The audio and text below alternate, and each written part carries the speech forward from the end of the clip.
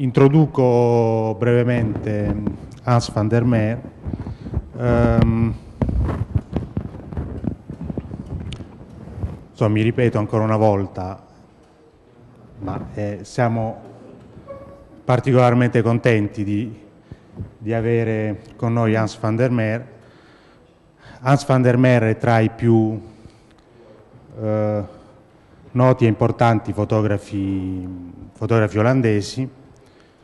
Eh, dopo aver vinto, credo abbastanza giovane, un, uno, un premio del WordPress Photo, il, um, ha realizzato i progetti che probabilmente gli hanno dato, uh, anzi senza probabilmente, gli hanno dato notorietà, che è un lungo lavoro sostanzialmente durato alcuni anni uh, sui campi da calcio um, amatoriali, in particolare sui, sugli incontri di calcio uh, amatoriali, dapprima sull'Olanda, mi riferisco a Dutch Fields, e in seguito sul resto d'Europa, questo secondo progetto si chiama European Fields, e mm, che per l'appunto gli hanno dato notorietà eh, internazionale. Eh, insegna anche all'Accademia Reale d'Arte dell'AIA. il suo ultimo libro è questo The Netherlands of the Shelf, che è un, un lavoro sulle città minori eh, olandesi che Hans ci sta, ci sta mostrando. Um, come eh, sicuramente avrete letto, eh, Hans van der Meer terrà un uh, workshop uh, domani che per mere ragioni organizzative um, è a numero chiuso, Uh, tuttavia insomma, abbiamo deciso di uh, organizzare per questo pomeriggio un seminario al, insomma, aperto a tutti nel quale um, Hans van der Meer ci parlerà del suo, uh, del suo, del suo lavoro e del, diciamo, delle motivazioni insomma, che sono state dietro i suoi progetti. una piccola, come già ho avuto modo di dire l'altro ieri, siccome c'è stato un problema per il quale non abbiamo un servizio di traduzione, in questo caso non chiederò a, non chiederò a, a Mara insomma, di tradurre, ma dato anche che il tempo che abbiamo non è tantissimo, io proverei a, eh, semplicemente a non tradurre, anche perché Hans, insomma, non essendo un madrelingua, ha un inglese più, credo, insomma, più facilmente comprensibile, però se ci dovessero essere dei problemi su alcuni punti, insomma, se non dovessero essere chiari alcuni passaggi, possiamo, eh, insomma, possiamo tradurre, possiamo eh, in maniera molto libera, insomma, anche interromperlo. Uh, grazie Hans, thank you Hans for coming here. Eh, It's a pleasure. Ah no, no, okay, you have got the microphone? Yeah, I have it, yeah.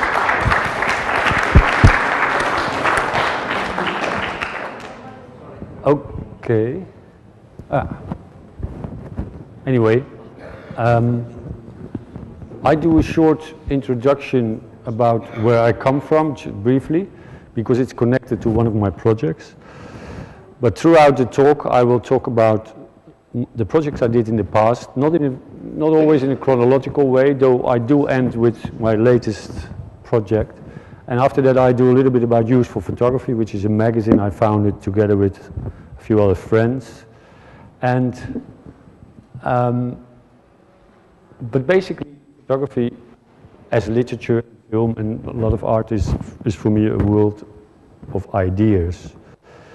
And how I pick up the ideas throughout the years is what I will tell you.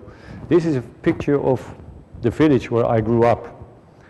And this was an assignment by the Dutch Architecture Institute in 1993 when they were founded. And in collabor collaboration with the Dutch Photo Museum, they gave five photographers a commission to define architecture photography in a different way. So not pictures from buildings, but differently. Basically, they asked us to reconstruct what the, the built environment and building in our childhood, how it was represented, what kind of role did it play.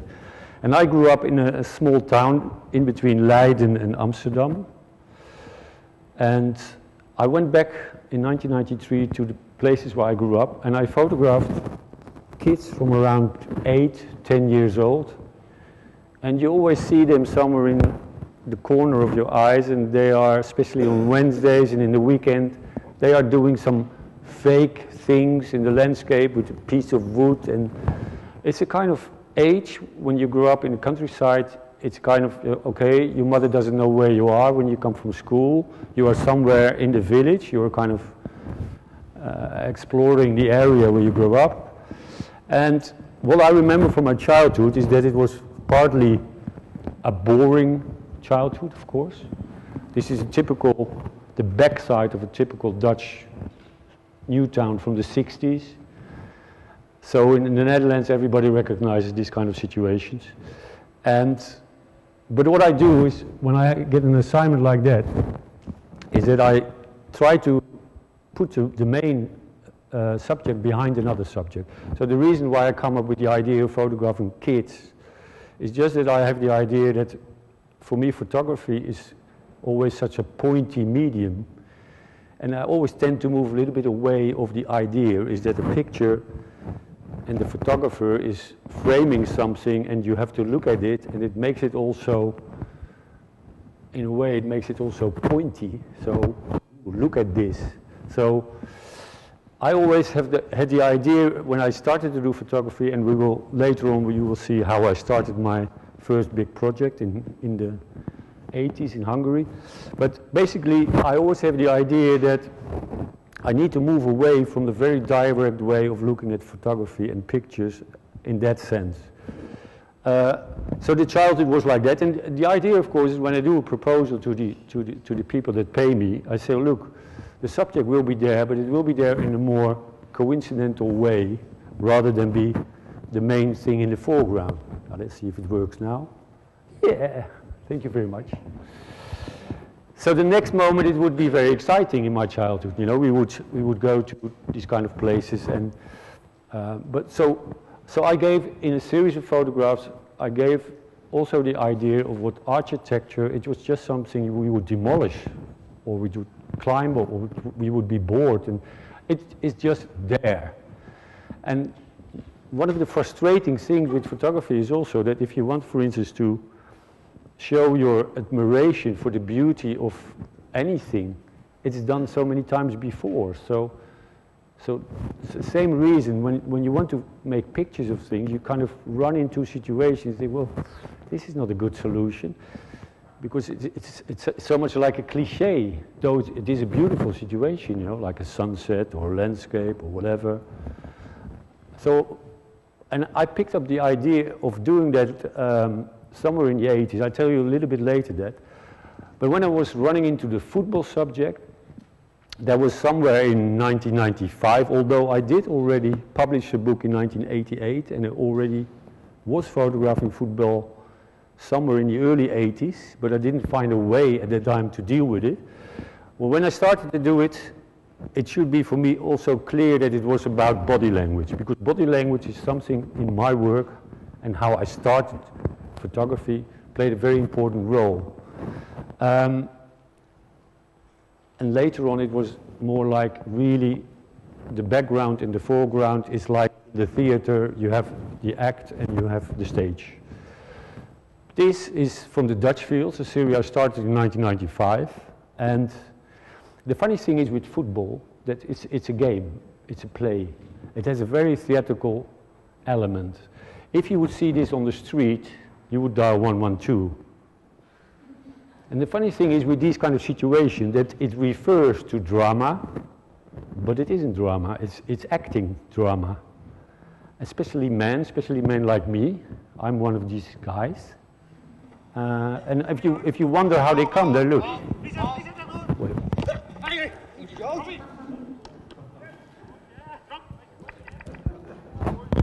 So I made a, this is also interesting. Look, this is us. And if this is, this is from starting filming in somewhere in the, around 2000. And this is when you see a guy doing this, as a photographer, you kind of realize not a picture, you know, it's a film. For me, it was always obvious that when I started to do film together, there's another reason why I started to do film, because basically I'm always on a ladder and my landscape is a framed situation, and I didn't, I bring home from what I see, I thought I could bring home much more if I start to film. Anyway, these are a few guys from Portugal. Now they know how to act.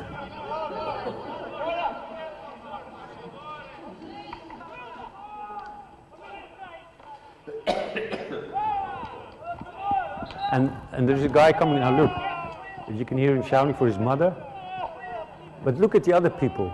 You see? Is that is that dramatic? No. So what, what are we looking at? Theater. In french they have a beautiful word when things like this they, they say cinema. Theater and exactly that is what is so interesting about this sport this is a guy like me he should stop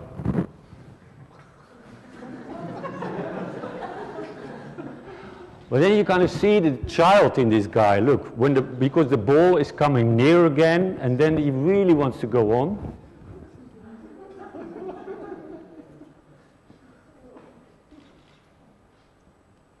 He's a veteran, of course, but.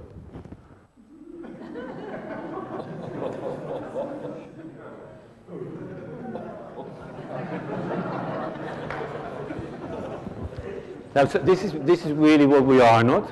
This is, and, and it is really funny that we don't realize it when we do it. But I, I did a project in the Netherlands. It was a kind, I, was, I was commissioned to do an art project, and I enlarged from, from this series what I made in Europe. I just cropped out these kind of guys, and I, I brought them back on the pitch. Look.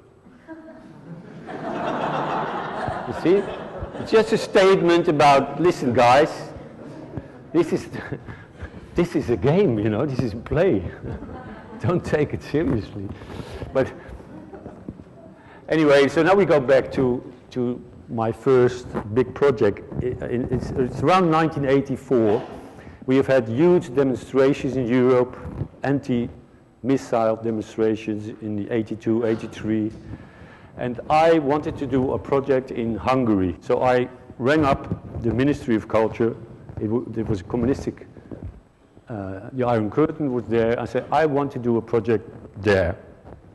Okay, they say, just fill in this paper, some questions. They had a kind of bilateral agreement with the Hungarians. I was lucky. They said to me, if you fill in the paper, you can go there. I filled in the paper, I almost forgot it. Three months later, telephone, your ticket is ready, sir, you can go. And I was for two weeks, I was the guest of the Ministry of Culture. I was taken around, and they took me to the ministry and said, what do you want to do? I said, well, I would like to get in touch with the Hungarian photography scene, and also I would like to prepare a longer stay. Two things.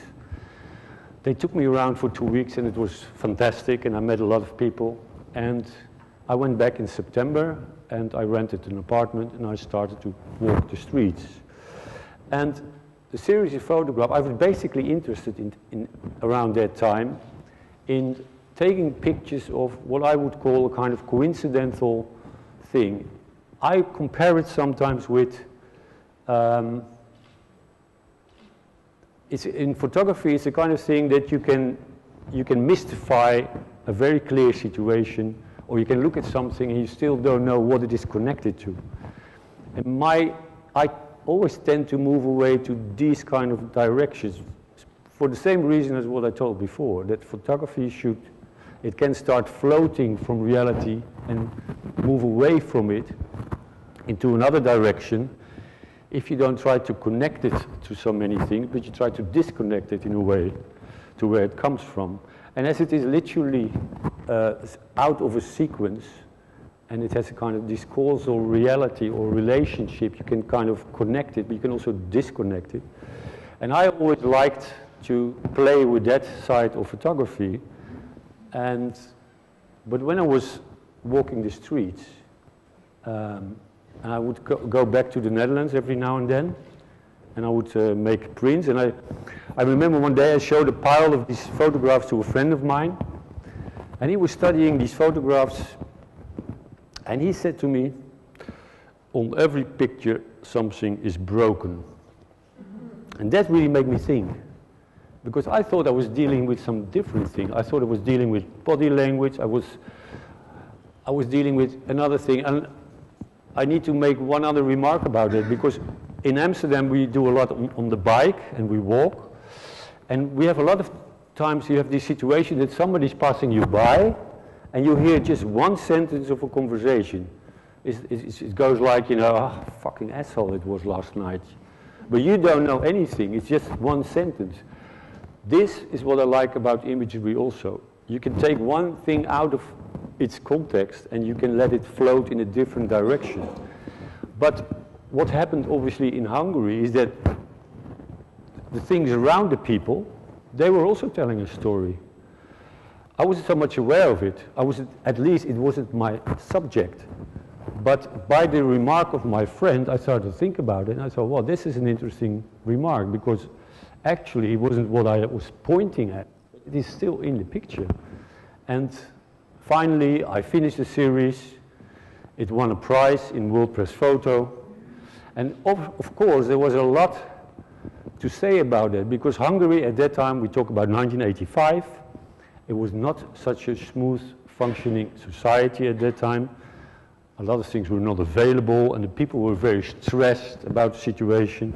And obviously it was all about Churchill, Stalin and Roosevelt had divided Europe into two pieces and they were on the other side and they would always remind you of these kind of things Uh, and you would see a lot of things of course in the street that were related to this huge history of the country.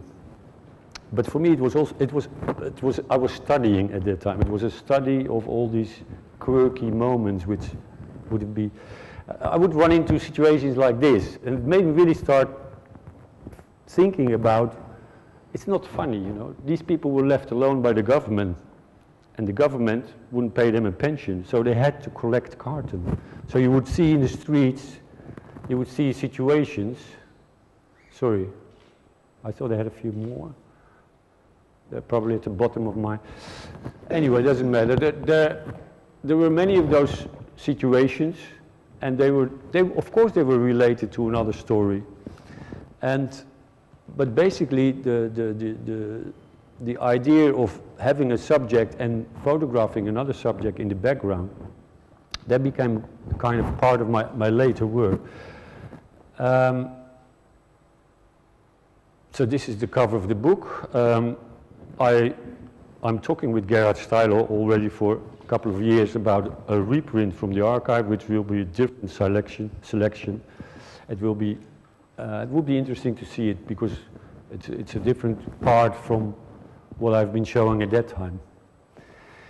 My my second project, what I, I uh, when I finished the, the, the Hungary project, I moved back to the Netherlands and I started um, to work in, with a, with a different camera, a six by six, on a series of photographs about production factories, plants. I grew up in a situation like that. My father had a biscuit factory and I worked there quite a lot of times. And I was very interested in this whole idea of uh, what a human being, but also basically the, the, the visual pleasure of all these situations, of all the mysterious things around these people. But it was also in a time when the Labour Party, not only in the Netherlands, but especially also in the Netherlands, the Labour Party would ha have a kind of identity crisis, which they still are in, because Labour had changed so much. Labour wasn't like a physical, a physical achievement, and, and it wasn't like photographing the power of human being. It wasn't also so much about people sitting next to automated um, systems. I wanted to focus on one gesture, one thing, in the same way, but basically all these, all these situations, they, have, they are automated, but there's always one or two weak points and somebody has to sit there, um, has to take in the rotten apples out or whatever. But this is, this is this is the transition you were in at that time. More and more people are just sitting there, and they, whenever, whenever something goes wrong, they will have to act. Later on, like five years later, when I started to film, I went back, and you see, you see that I film more or less the same thing. This is a, a small summary of a, of a longer film. This is in a brick factory, obviously.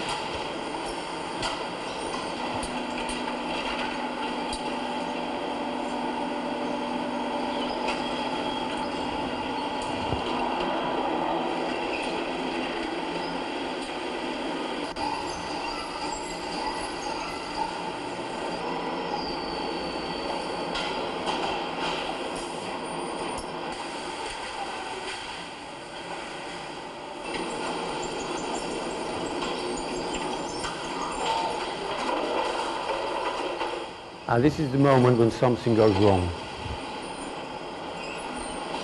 And then they have to act.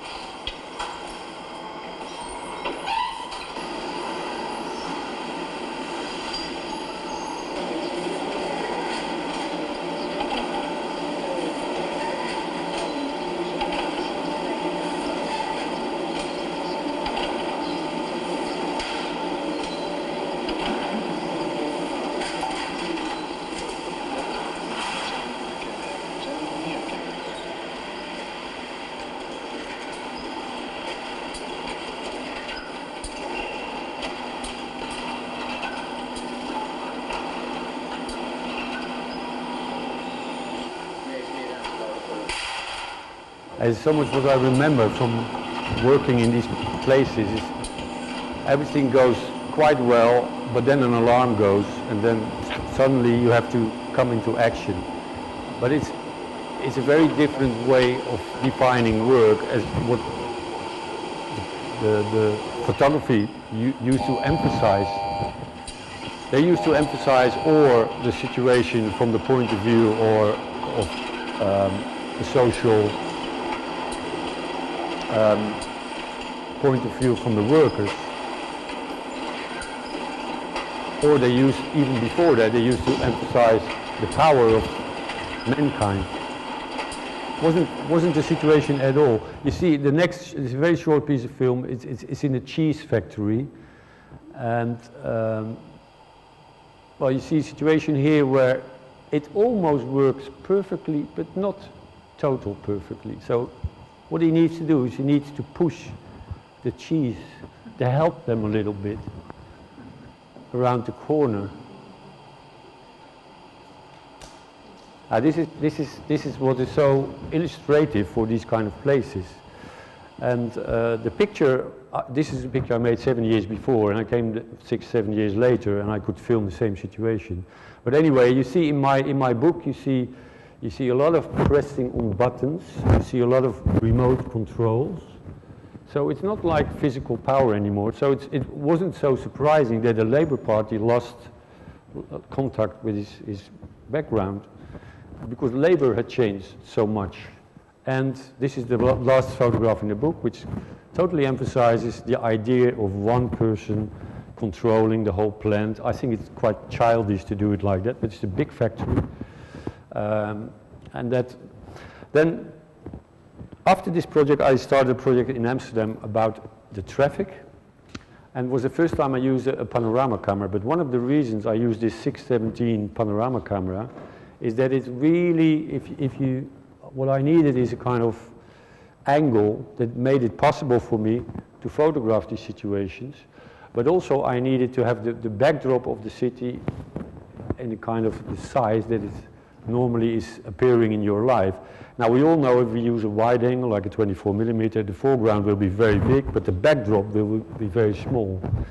I, I, I got away with it by using a 617. It takes just a stroke out of a 13, 18 uh, size, uh, film size, and Actually, you see me kind of continuing what I was doing in, in Hungary, but I, I, got a little bit frustrated because it's, it's such a large uh, format, and I was, I, was, I was very unsatisfied in the end by uh, having one thing in the middle, and I preferred, I mean, there's a lot of things in Amsterdam going on between people.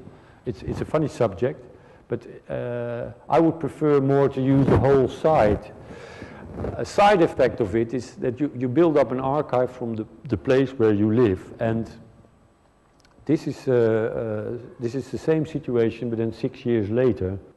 And actually, it's, it's the, the environment where I live. And there is a famous Dutch writer, Karel van der Dreven, and he, he wrote in a newspaper, he would write every day a column. And just before he had to retire, just before he took off, uh, he said, he was like 75 and he kind of realized suddenly walking through the city, he kind of realized, okay, this is how Amsterdam looks after my death. And this is so much photography, you know, this is so much we don't realize that we are passing by, especially in old towns. And the city is much older than we are. And I, I kind of like this, this idea of um, um, looking at it in that way. And photography is so good in these dry recordings. If you try to explain, it's, it's so obvious that when you see a photograph from yourself sitting in the garden and you are three years old or five years old, it's not the fact that you are sitting there, but suddenly you realize, oh, the little chair over there disappeared out of your life. It's the objects that makes you much more realize that time times have changed and they are gone. They are, they moved away out of your life. And photography is so good in these kind of dry recordings of periods of time. We, we don't realize it in contemporary history writing, but you, this is uh, some, some, some of the things you learn by using your archive is that ooh, suddenly the whole city has changed. And this is, this is an example of this. And these are, this is a picture from the same street. It's in a Jewish area. It comes from the local, from the municipal archive in the Netherlands, and this is the, the exactly the, the area where the Jews were all moved away in the war, and all these people they they didn't have a clue what was waiting them in in about 25 years. It's another element of photography that. Um, and these, these are my children because they grew up in the same area. It's the same tower, the same church. And I, uh, th these kind of things I like to play with also. Anyway, this is, this is a, uh, an, an, assignment from the city. It was, the city was a, a protected monument and they had the same theory. We have a problem.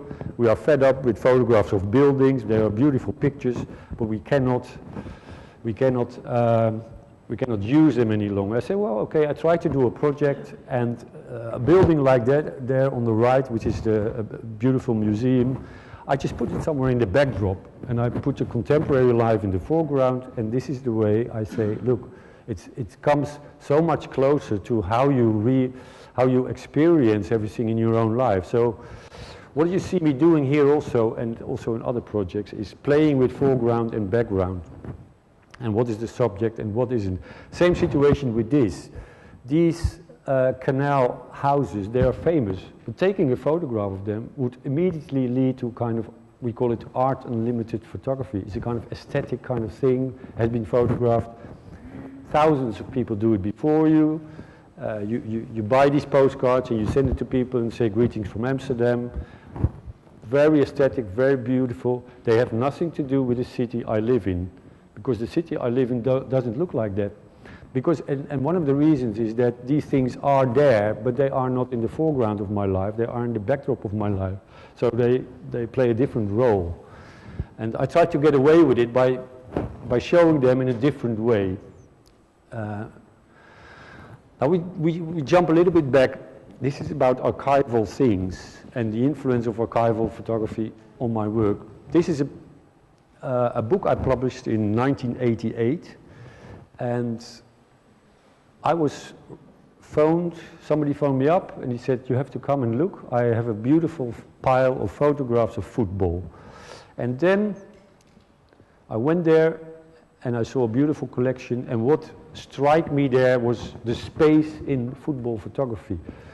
Um, I, we made a selection, and one of the reasons that the photographers wouldn't sit only behind the goal but also on the stand was that the people hadn't seen, in, this is a little bit from until the late 50s, the people hadn't seen the situations uh, on television. So the information would come only a few days later in the cinema, but the photography in the pictures, they would use pictures like this with arrows to show how the ball went in. So it, has a very, it had a very journalistic approach. And um, I always thought the newspapers in the Netherlands, until recently, they would make these kind of silly graphics to, to, to do kind of the same thing. Well, I think that, you know, you can, you can make a picture of it. This is a picture I took uh, from a game Juventus, Ajax Juventus in Amsterdam, 1988. Ajax was beaten by Juventus.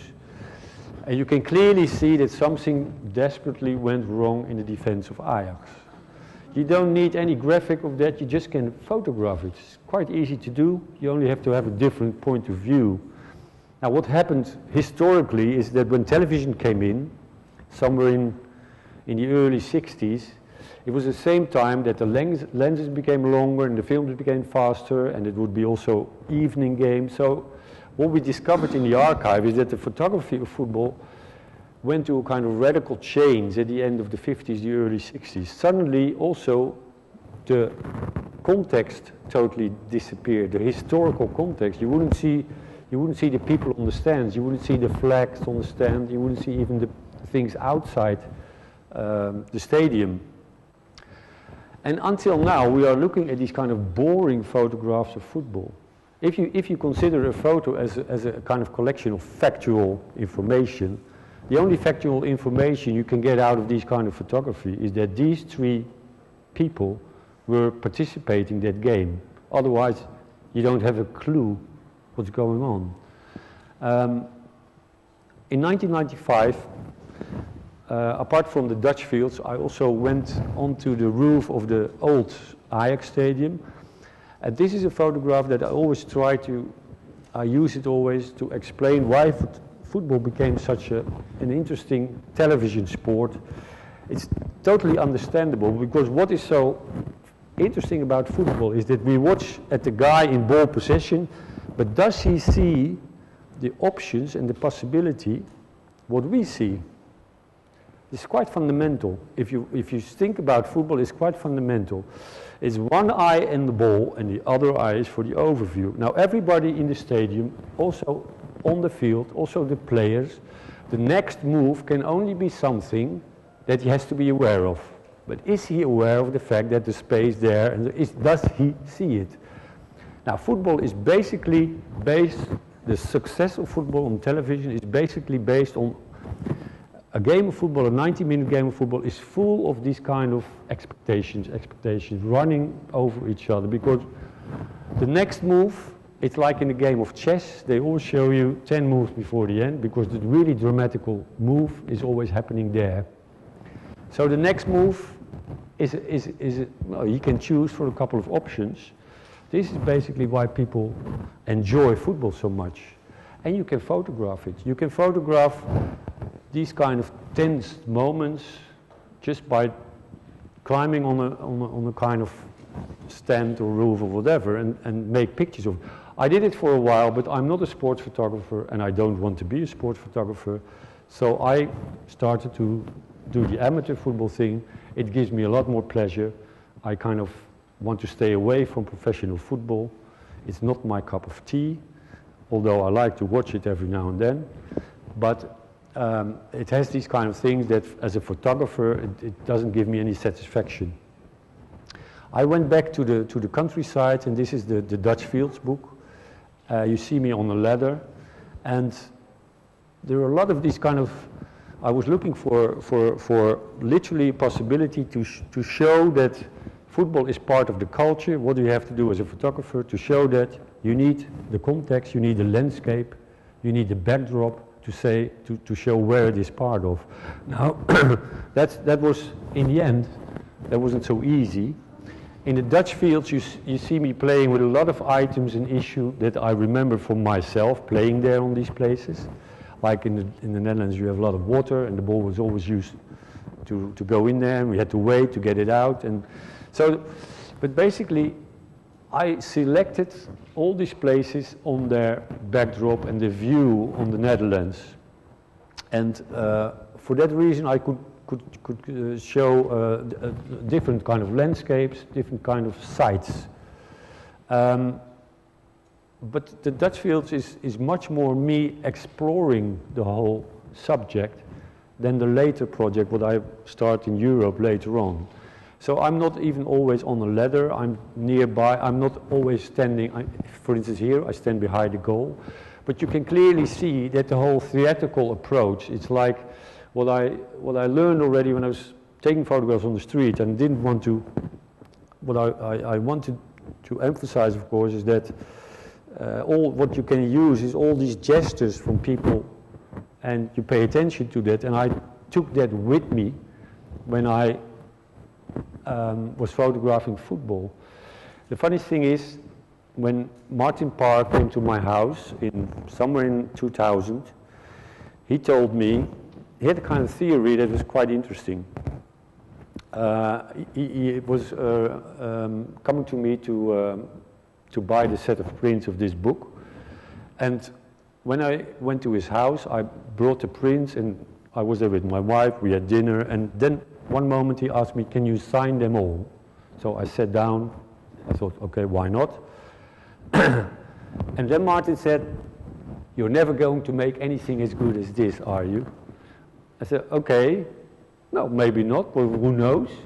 No, I said, I, he, he, he, kind of felt that I misunderstood him. He said, no, no, no, it's like this. I have a kind of theory that every photographer once in his life makes a kind of project that everything what he did before comes together in that project. And this is the, the kind of thing that, I, you can correct me if it's wrong, but it's the kind of thing that is playing a role in the way he selects at least these kind of projects that he want to buy. And well, I was coming from this kind of street photography. Uh, like 10, 15 years later, you see me still working with a 6.9 camera. Some people think that I photographed this with a 4 by 5 inch, which is not true. It's a 6.9, it's a medium-sized camera, which is actually a big Leica, which is a kind of continuing what I was doing on the street. Body language plays an important role. And so these kind of theatrical situations uh, I, I, I liked to play with and I still like to do that. Now here again, you can see that drama in amateur football never really becomes a drama. Even when there is a broken leg, it has this kind of cheerful Saturday afternoon. Let's go on, you know. Let's wait till the ambulance is gone. And, and this, is, this is really true. I have a huge collection of these kind of portraits of these guys. I always ask them to stand after the game. And this, this is a funny thing, especially when you go in the countryside. From the 22 players, there is one or two you never can, they, they really attract your attention. It's just the way they are, you know, it's just the original way they move. And uh, I like to photograph these guys. It's not that they are good or bad players, you, you, you, you wouldn't know that. So then I'll move on to Belgium. This is around um, 2000 when we organized the tournament in 2000. I, I'm commissioned at that time to do a project. I did the Netherlands, and then I move on to Belgium, and I start also to film at that time.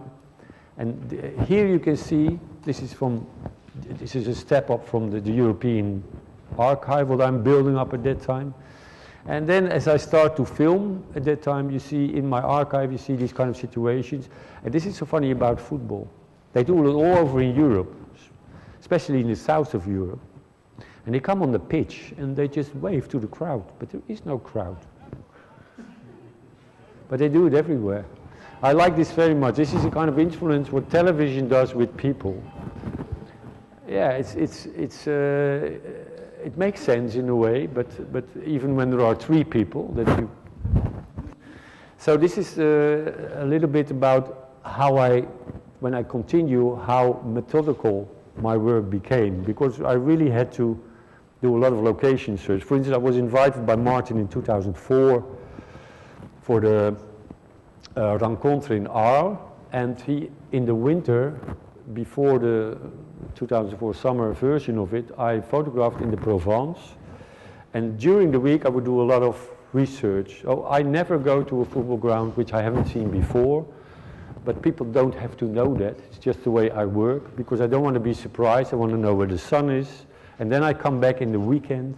This is, for instance, in uh, Oppède, near in, in the Luberon, in the south of France.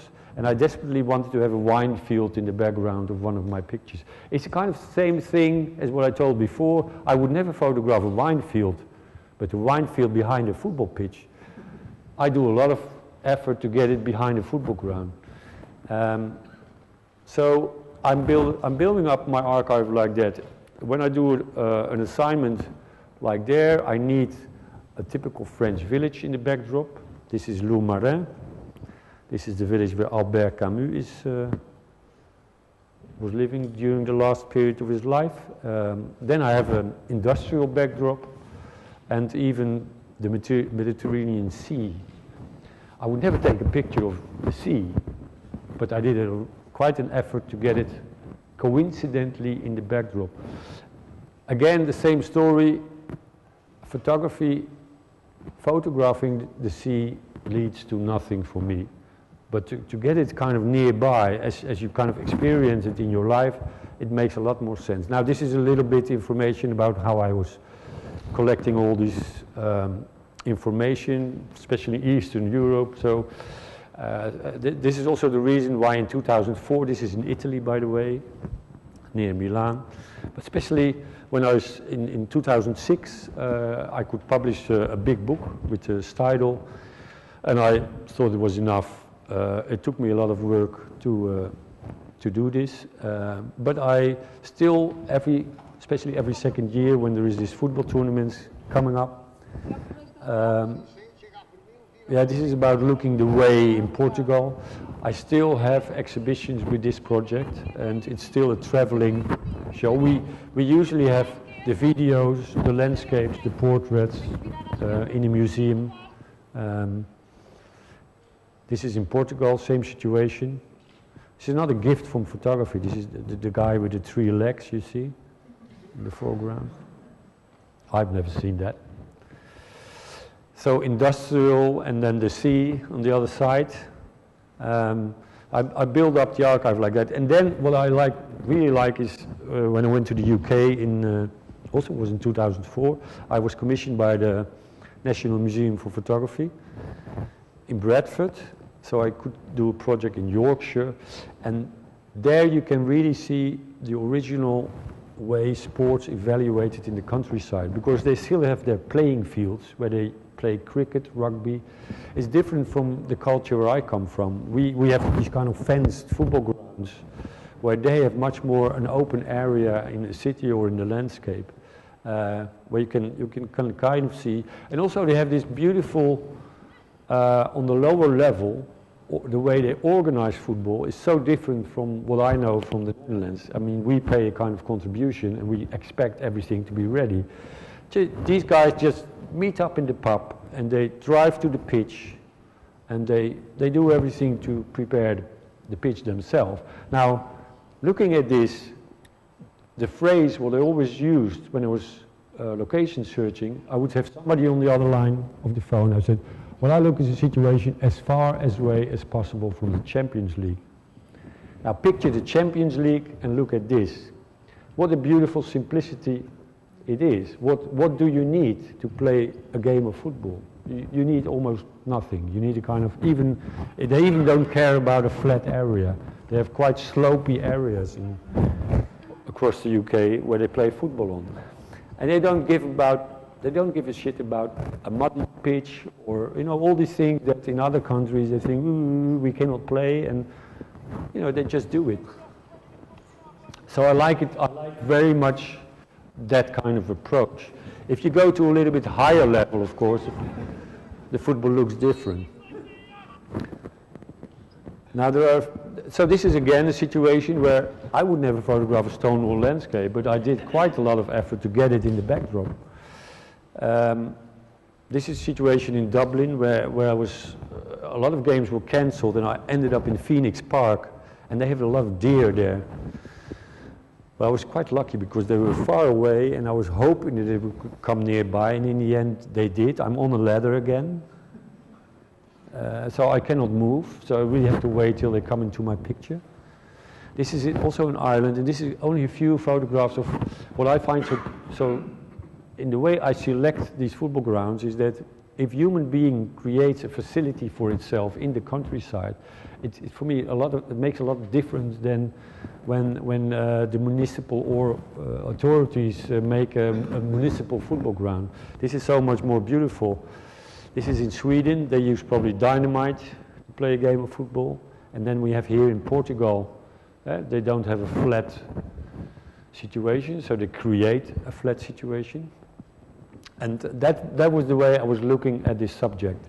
Um, this is a film, the last thing I did in 2006 was a film for the museum in Cinisello in Milan. This is the beginning of that film. And again, it's, it's such a beautiful, simple approach. The people don't know it themselves because they just do what they do every weekend. But for me, it's, it's, it's a kind of statement about uh, probably they also have artificial grass now there. If I go back, probably it, it has changed. But it is so much opposite of what grew out of that sport with all this enormous, you know, the amount of um, money that is involved and so on. And, uh, and, and it, it, it's in the, in the, these films are only to be seen when I have an exhibition. I never show them on internet or whatever. Uh, I just keep it away from there. I, if, if people go to my exhibitions, uh, they can sit down somewhere in the corner and they can have a look at it.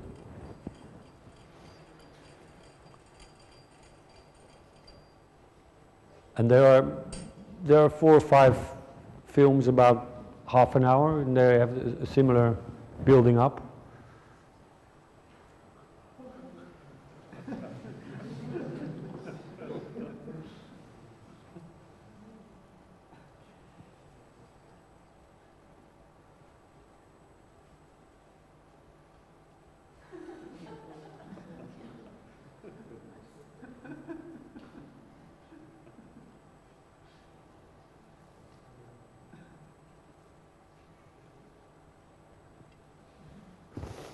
Now also here, they, it will happen in a minute, they just, they just go in and then come out running, look.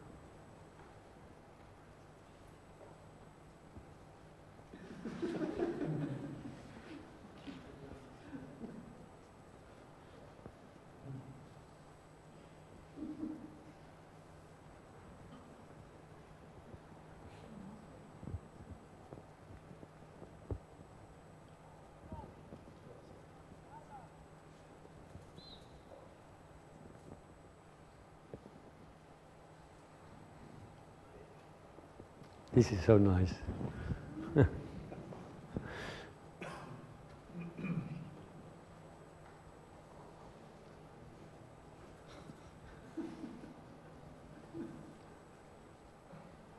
and this is basically what this is basically what photography and football have so much in common. It's it's their imagination that makes them play in a stadium. I mean, even when you score a goal, it's not that we, we hear the wind through the pebbles. No, no, no. We hear the crowd. You know. So this is uh, this is what I like about football and photography. Then there is there are a few of these cultural differences all over the country. This this is from the French, the same ground where I took the picture with the with the Trinity. The French are very talkative, I can say. So they do a lot of, and they have these kind of disagreements every now and then.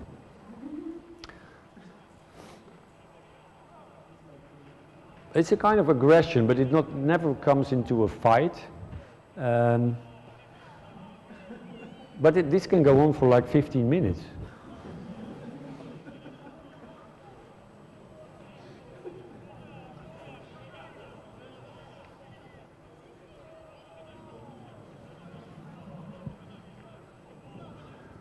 then we have the Italians, I think. yes, they are very good in gestures. I like it so much about Italians that they also him, look.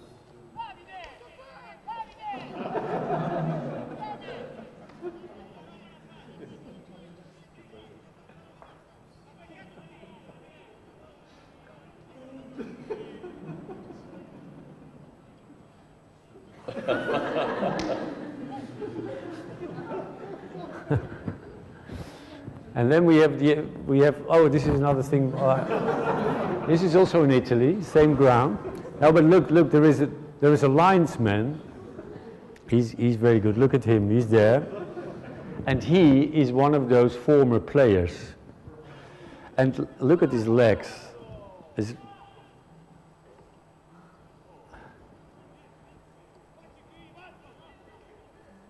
You see? It's what, it's what I do also.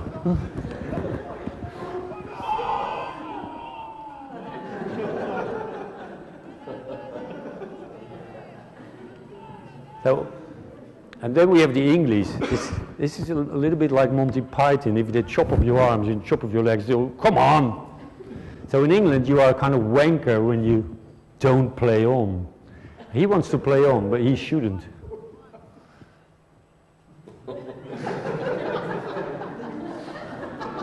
Crazy. you see?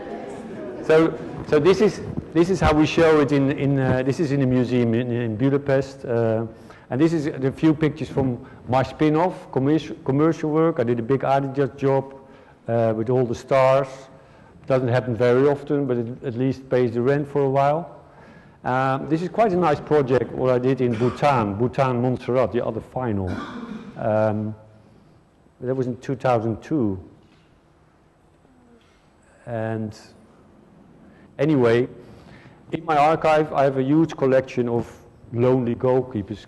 And this is obviously because half of the time I'm set up, I'm on a ladder, I'm standing there, this is my frame, I wait till the players come in. Half of the time the game is on the other end. It's me left alone with the goalkeeper. And I never can resist taking that photograph. So I have a huge collection of photographs of of them waiting there. Uh, and it's kind of interesting because it, I, did a, I, uh, I was commissioned by a Dutch film producer and uh, he said, yeah, I've been looking through the bookshops in the Netherlands. I'm looking for a photographer for a commission. I come to you. I said, why do you come to me? I said, because of your football pictures. What do you want me to do? I want you to go to the United States and photograph the landscape of the Western movie. I said, why that? He said, well, because there are two filmmakers and they made a film, it's called Go West Young Men, and we celebrate this year the 100th, 100th year anniversary of the Western movie. I said, okay, I think about it, and I said, probably I will put something in it. So I went to the United States and made a series of photographs of these places where they have been shooting uh, films like Monument Valley. And when I went there, I thought, um, I thought I put a horse in it. And uh, the first pictures in my archive, there is just a horse.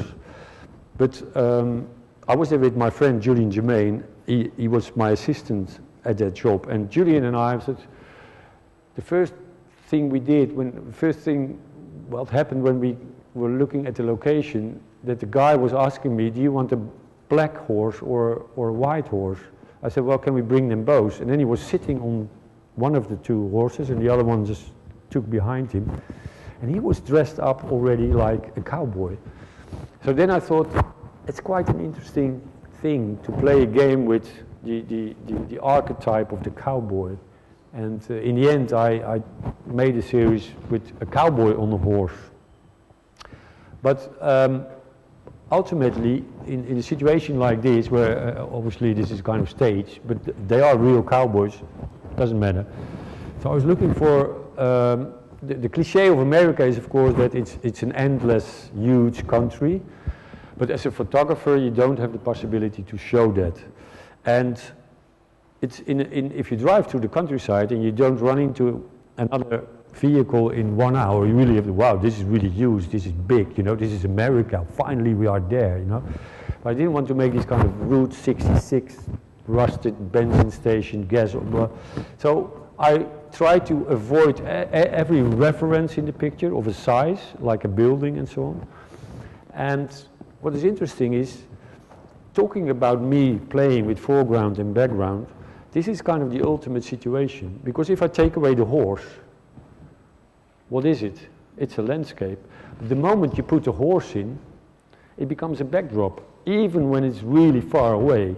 You know, this is kind of referring to all the cliches, all the cowboy films, they, they end with cowboy driving to the horizon. And, but I, I was really, uh, it was really a challenge to do something with an enormous, huge landscape country so you try to get it as big and as empty as possible, but still you feel a little bit limited as a photographer. You have to, you have to translate a feeling somehow. But it made me think a lot uh, about uh, the nature of what you do when you use foreground and background. And this is, uh, when I went there, I had a, a chat with the, the, two filmmakers, and they said that John Ford, who made the Searchers and these famous films, he used Monument Valley, never, it was literally in their script was that line that struck me also. He said he would use it never as a subject in his film. In all the John Ford films shot in Monument Valley, Monument Valley is just in the backdrop. So, and it, it's, it's true, you know, the beauty of Monument Valley is really present in the films of John Ford because he doesn't show it. He puts it somewhere behind other things. Um, and these, these things are for me very interesting to, to think about it in that way. And then you see me again, I did another commission in the Netherlands about animals in the Dutch landscape. I use the same kind of body language in this situation, but for an animals. Um, also to, to, to make a statement about the Netherlands, but in a different way. From that it leads to a book, a children's book, what I published five years ago. It's called Counting Sheep. I was, most of my work is just because somebody asked me to do something. This was a request, can you, can you make a children's book with photography? Now, many of the children's books, they have narratives. So I said to them, okay, I start thinking about it, but I probably, I want to do probably with a very visual thing that should fit into my other work. And when you start thinking about a book for children, and you think, whoa, it's not so easy because most of the books are illustrations with a narrative. Uh, but I, am, I have a friend, he lives in the north, and he's a farmer. I met him like 12 years ago when he's photographing Dutch fields. He's in that book. Me and my wife, we do the farm whenever he's going on holiday. So two times, two times a year we are farming. And he leaves a little paper and he says, we have to count the sheep in the field. And as the Netherlands are a flat country, it's not so easy to count them because they, you know, they are positioned like this. So what you do is you kind of walk alongside and then you count them. And you see a little ear appearing behind the other. And so what happens is that we have to recount them every now and then. It's like, oh, it's, on the paper it says 38, and then we count, uh, 37, well, fuck, you know. Uh, 39, bloody hell. Uh, oh, 38. And then we suddenly go and have a coffee, which is obviously stupid. Now, it was in winter that I was very cold and I took a couple of photographs. And I said to my wife, well, we can count them on the computer, not? We just, we just put it on the computer and then we count them. And these photographs I showed to the publisher, and the publisher said, well, that's a nice idea. And this is how this book was done. Because then I said, okay, I will go back throughout half a year. Every now and then I will photographed them, and then we, we made a book. You see, it's a wintry situation, and then it's just it's just for children, but it has already a third print run, and it's it's a it's it's a, it's a fantastic uh, success for the publisher. It's very cheap. It's 12.50. It's a carton book. Uh, and this, this, is, this is another situation where I'm asked for a newspaper to have on the back of the newspaper every month, or no, every week, a sports picture. And again, I, I, I phone up these people, and wherever they do in the Netherlands on the low level in sport, I asked them, is there something visible from the Dutch, from the Dutch scenery around it? And then I really like to go there. Now this is, we are now in 2001, and basically what I said to these people from the newspaper, I said, look, there's a lot of sports in your, in, your, in your newspaper, and it's a lot of top sport. Why don't we give a place in the newspaper to the readers of the... Yeah, so well, why don't we show what they do? And, and, and a newspaper is made by newsy people, journalists, and they are not, they are not so willing to publish things in newspaper that are not news related. Now I call that always, the, what I call is, is the unhappy marriage between news and imagery. Because when you start thinking about when Martin Parr came to me and I started also thinking about that project in reverse, okay, because Martin said, I've never seen anything like this before. And now it makes sense in a way, because if a journalistic reason is the reason to go somewhere and take photographs, you wouldn't end up in kind of totally unimportant sports situation because it's not news related. So what we, looking back in reverse, what we document of our lives, of what was documented of our lives, was uh, many times was news related or some editorial uh, issue. And I I always think, you know, this is only a part of life. You know, there is a lot of other things that are not news related, but they are definitely part of our collective memory, of our life. And this is what we, uh, in documentary photography, of course, can, can do. So I kind of then build up this series and ending up with all kind of silly sports, which I didn't know they were happening in the weekend at all. Uh, but I, this is the way that that uh, is so different from their way of thinking. They would publish a picture in a newspaper uh, um, only because of, of kind of event, kind of, and, and I start to look in a very different way. What are people doing in the weekend? Where do they do, do they do it and how does it look? So it's a kind of anthropology, it's a kind of sociologic reason. So you end up in a different way.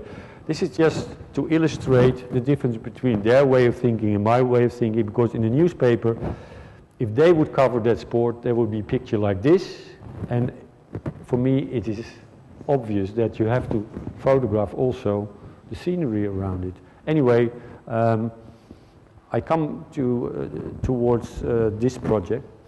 Uh, in 2004, I was asked by a Dutch newspaper to drive around the countryside during the summer and it was the first time, time that I looked at my own culture in a way like, hmm, what am I looking at? So all these things that kind of raises a question. And I was, for instance, interested in why is why the hell is this there? You know, what is it? And then I would write about it. And then there is a situation where I end up in a typical Dutch square on a Sunday morning. It's empty, and I write a piece of column about this. And so this is so much how the Dutch, um, uh, we have a word for it, is a kind of design their environment. And it's always, you know, if, if, if it is kind of uh, reconstruction from places like this, and they literally have use a catalog where they have bins and they have benches and they have all, all the stuff that you need to rearrange. When you start thinking about a definition of our culture, um, it's a little bit like IKEA. It's a little bit like you have all these prefab elements which you see in different arrangements throughout the country. So when I was asked to do a project in 2008, it was the beginning of this uh, book, there was a publisher that came to me and said, Hans, the Netherlands has changed so much over the last 30 years. I said, yes, yes, yes, I know what you mean. There's a lot of new towns, a lot of new buildings. Uh, and I said, well, I, I, don't want to photograph all this ugliness. But I do want to continue that I, something that I already started in 2004. And I went to these middle town, middle-sized towns in the Netherlands. And it, in the beginning of the book, I put this catalog. I show you a few images of all the street furniture and all the things that we literally can order. Um, when opening, I was, I was lucky because the director of the Dutch Architecture Institute, he invited me with this um, exhibition, it was an exhibition uh, in the museum. And he said, okay, we have shown enough highlights from Dutch architecture. Let's get rid of uh, Rem Koolhaas and all the others. We will make place for this project. Finally, we show how the Netherlands really looks. And this is so much true because this is the dominant culture, not this. This is the dominant culture. And when the opening was in the museum, there was an, an audience of photography and architecture people. So I I said to the architect, okay, I'm, I'm just a photographer, I'm a documentary photographer. I can only deal with contemporary things and the past. You, this is an artist, artist impression, you guys, you deal with the future. You, you always create situations that are not existing yet, and you make plans about that. And so you see all these kind of things all the time. This is quite a horny one, to my opinion which, which they, they try to make it attractive for us, you know, that they are making this world, creating this world for us. They're really selling these kind of ideas to us in this way. So for me it was obvious that I wanted to do something with these catalog images, but the reality looks like this. It's so far away from the artist impression. It's not only because it's, you know, it's a little bit more shabby than it used to be. Uh, it has a lot of reasons. So I ended up making I, I, I, ended up using this kind of uh, element. I'm on a step ladder. I'm a little bit elevated. I use that strategy to emphasize that the way I want to look at the world and the way I want to present it is like looking at the theater, looking at elements that, um, that you can have a, a, a, clear overview from a situation from a little bit elevated point of view, as in a theater play. And suddenly all these things that, that are in the picture, they, they, you kind of recognize from, from there. So you kind of recognize the whole idea of why a culture, how a culture is defined. Why immediately when we cross the border from Belgium or Germany, we sense that we are in the Netherlands. Now this is not typical only for the Netherlands because if you go in the UK or in France or in Germany, if you go to these smaller towns, it becomes more English or more German or more French, probably also in Italy. Uh, but in the Netherlands, we do it all in a different way. And so I, I documented these kind of situation. And the, you, you kind of see here all the elements that come from there. So people literally order all these things. Funny thing also in the Netherlands is it's made of bricks. So the bricks that we build our houses of are the same, are coming from the same company, they're in my book, that the pavement is made of.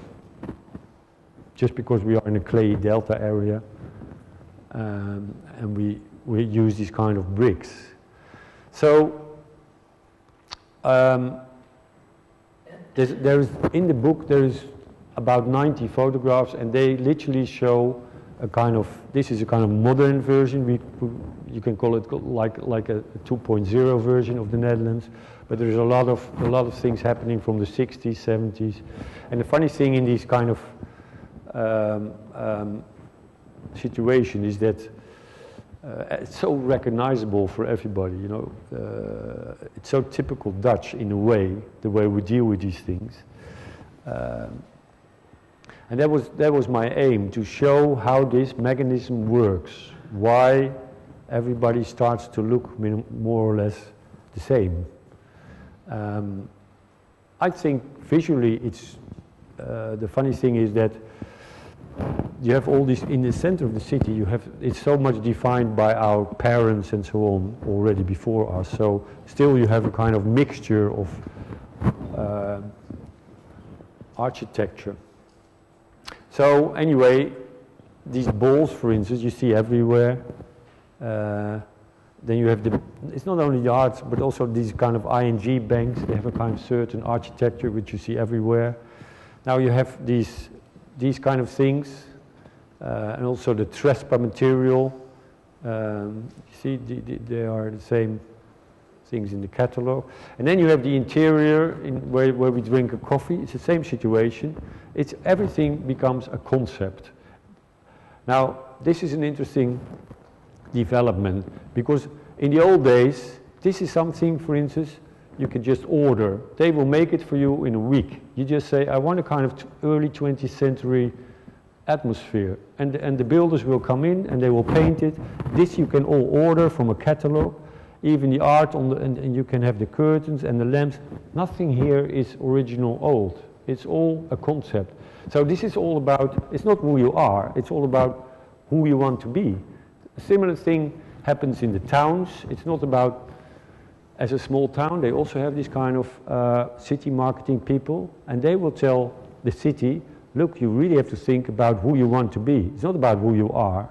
And then they, they, they start to have meetings and they make it a little bit, in, they turn it into kind of democratic process, process and, and, and the public will be invited and they can also think a little bit about where it should go and then it ends up in a kind of Dutch compromise um, but it's all a conceptual way of dealing with things.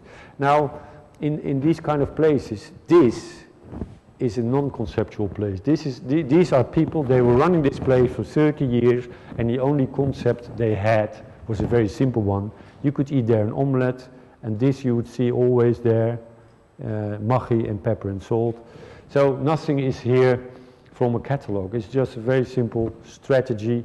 Also the menu would be very simple. Now the, I, I, went back there half a year later and these people retired and then you see the same, you see the same thing, you see? So this is a total makeover of the place. Same thing, in the Netherlands, not only in the Netherlands probably, but it's the same thing, a different strategy, different concept, different, just the builders come in, they make a different kind of, in like in a theater play. It's, it's the backdrop of our lives, constantly changing. Same thing happening with, with uh, shops. Uh, and you can literally see these kind of, uh, uh, the elements coming back everywhere because they just order it and then they put it on the wall, you see also these, these kind of things, you see them all over the place. Now, this is where it comes from. So I started to investigate. Uh, this is this is Bakkerij Bart. It's a kind of franchise uh, bakery. We see it all over the country. So they have this this this thing. It's coming back here. You see. So when, once you start thinking about how your own culture is built up, uh, it, it, it, really is defined by these kind of returning situations and, and, elements. Now to finish my talk, I started the magazine in, I think 1999 with uh, Hans Aarsman, Erik Kessels, Julian Germain and Claudie de Cleen and we called it useful photography. And useful photography is just a word to show things we have been collected throughout the years. Now in issue number two, published in 2001, for instance, we had a selection of photographs from eBay. eBay was at that time in America already quite a thing. It wasn't so in Europe, it was small at that time. So what we did, we selected from the internet during three weeks all the pictures that would appear next to the things people would like to sell. Now what we found so touching about it that people would have a problem. You know, they, they would use like white sheets, like a photographer does in the studio, but then they would do it in their houses. They, they, they were looking for white backdrops, uh, solutions like this, just to sell the things. It's, it's like a big flea market. Um, you see, this is a collection of the things in, in issue number two. All kinds of things for sale, which kind of and it would be published, it was published like this. In the magazine. And then uh, I end with a story from Useful Photography number five. This is my friend, Jaap. I told you about him. He's the farmer. And as we are doing the farm, we run into uh, cow photography because whenever uh, a cow is, needs to be uh, is fertile, we need semen. And the semen you order, and he had, he called it a bull catalog. But what struck me was, of course, the way the cows were photographed all the time. So I went to find out, I, I, I uh, phoned up a cow photographer, and I didn't know that, but in the Netherlands there were about five, six cow photographers, professional cow photographers. And in, uh, in the world, uh, there were only 30. Um, it's all about breeding. It's all about recording what happens when, when a bull and a cow uh, cross. And this is Lord Lilly. Lord Lilly, he had 150,000 children all over the world. From the 60s, they started to freeze the semen. Semen is gold. It's the companies behind this, this, they are really making money. The children from Lord Lilly, they would be all over the world. In the old days, if you would see a cow in the meadow, you would be sure that the, the father would be in the village somewhere nearby or another village, but not miles away. But the moment then, when they started to freeze the semen, they could, they could just fly it all over the world. So we, we published a selection of his daughters. These are all daughters from Lord Lilly. And if you look at this place, for instance, you can kind of see a returning spot, more or less, where you can see that, that the, the gene material is at least from, from half of the... Uh, this, is, this is an article about um, cosmetic uh, uh, manipulation of cow photography. Uh, but I, I, went to a, a, cow photographer and this film, what I show now, is him at work. And this is such a beautiful example of what most photography is. Most photography, what we see, is made on assignment. It really literally shows that reality is not very useful. A photographer needs a situation, he needs to create a situation, what he can use, what he can sell, what he's paid for. Now, the, a cow is not a very cooperative, cooperative animal. This film is three minutes, but it took him half, half an hour to make one picture.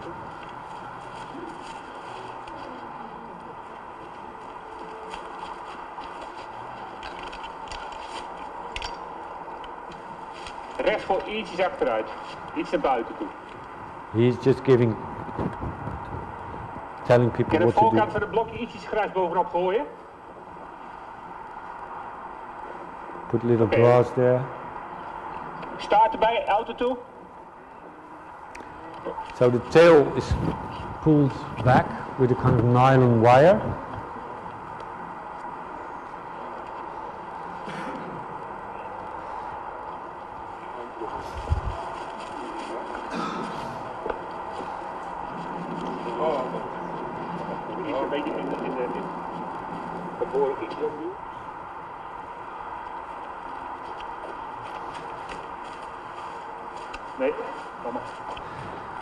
Remember I photographed in a ballet school in Russia in the 80s. And the teachers would also do similar things to the children. They would just stretch them.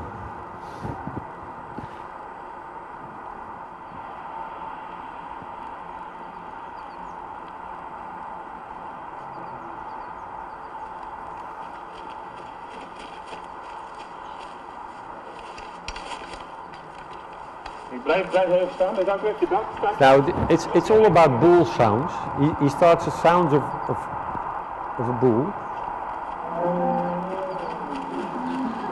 And to get the ears up. You see the tail is going back with a little wire.